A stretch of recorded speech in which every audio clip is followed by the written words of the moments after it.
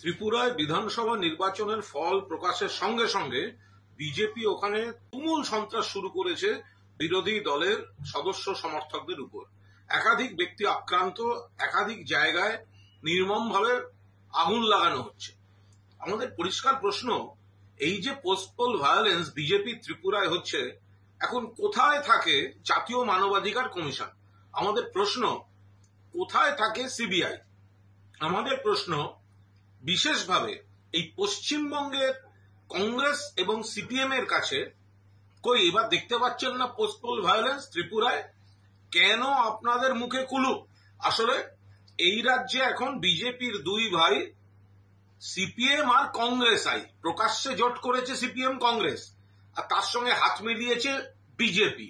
সেই কারণে যে জন্য তিনজনের বন্ধুত্ব, সেই কারণে আজকে ত্রিপুরায় যখন এই পোস্টপল ভায়োলেন্স চলছে, পশ্চিমবঙ্গে মুখে কুলু পেটে বসে আছে এই সিপিএম এই কংগ্রেস। এবার তাদের আর নিন্দা দেখা যাচ্ছে না। কেন এখন ওখানে পিআইএল হবে না? যেখানে পিআইএল হোক, আদালতে যান সিবিআই আনুন, জাতীয় মানবাধিকার কমিশন যান, সেখানে দিল্লিতে ডেপুটেশন দিতে যান।